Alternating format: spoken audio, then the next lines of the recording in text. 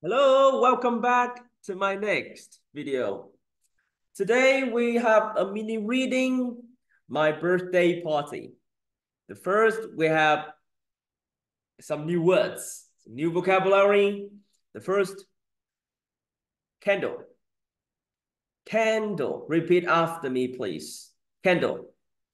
Gift, gift, gift. Grateful, grateful grateful and grateful. Balloon, balloon, balloon, balloon and balloon, balloon. Yes, repeat after me one more time. Balloon, grateful, grateful, gift, gift, candle, candle. Now we have the reading part. I had a birthday party at home last week. It was very fun. I celebrated the party with my friends and my family.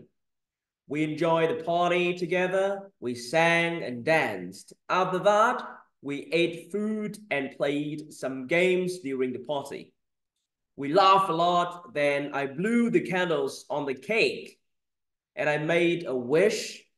I received many gifts from my friends.